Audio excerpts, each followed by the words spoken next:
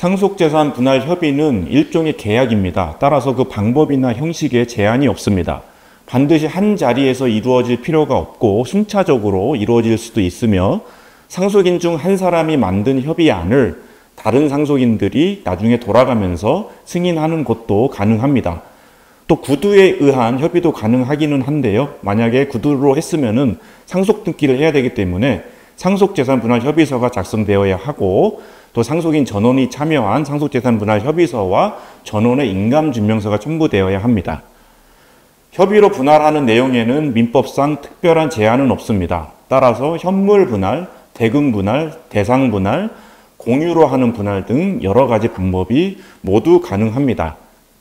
또 협의에 의한 것이기 때문에 법정 상속분에 구애될 필요가 없고 따라서 상속인 중 한 명이 상속을 전혀 받지 않기로 하는 그러한 분할 협의도 가능합니다. 다만 상속인에게는 유언으로도 침해당하지 않는 유류분이라는 권리가 있습니다.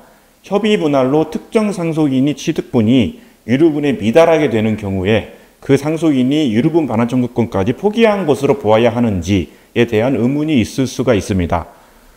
대부분 판례는 상속재산 분할 협의 당시 아무런 재산을 취득하지 않았던 상속인들이 유류분을 주장하지 아니하였다 하더라도 그것만으로는 유류분 반환 청구권을 포기하였다고는 볼 수 없다라고 판단하였습니다.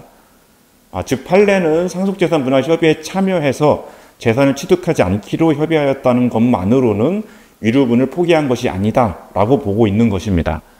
그렇지만 협의에 참가한 상속인이 포기의 이사가 확정적이고 종국적인 것으로 해석된다고 한다면 그 후에 별도로 유류분 반환 청구를 할 수가 없을, 없습니다. 그 점은 반드시 조심을 하셔야 됩니다. 한편 그 분할 협의에 조건을 붙이는 것도 가능합니다. 그리고 상속인들 사이에서 상속 재산의 분할을 금지한다는 약정도 가능합니다. 다만 이 경우에는 민법 268조 규정이 유추 적용되기 때문에 분할 금지 약정의 기간은 5년으로 한정이 됩니다. 분할 협의는 일종의 계약이기 때문에 민법의 의사표시에 관한 규정이 적용됩니다. 따라서 상속인들이 비진의 의사표시, 또 통정의 표시, 착오나 사기, 강박으로 인해서 하자인의 의사표시를 했다라고 주장해서 다시 분할을 청구할 수도 있습니다. 분할 협의가 성립된다면 각 상속인이 취득한 재산은 상속 개시 시, 즉 사망 시에 소급해서 분할받은 사람에게 귀속된 것으로 봅니다. 그러나 그 소급표는 제3자의 권리를 해하지는 못합니다. 한편 공동상속인들은 이미 이루어진 상속재산 분할 협의의 전부 또는 일부를 전원의 합의에 의해서 해제할 수도 있습니다. 다만 상속재산 분할 협의가 합의 해제되었다 하더라도 그 해제 전에 새로운 이해관계를 가지게 되어서 등기나 인도 등으로 완전한 권리를 취득한 제3자의 권리까지는 해하지 못한다고 보고 있습니다. 또 상속재산 분할 협의는 재산권을 목적으로 한 법률 행위이기 때문에 채권자 취소권의 대상이 될 수도 있습니다.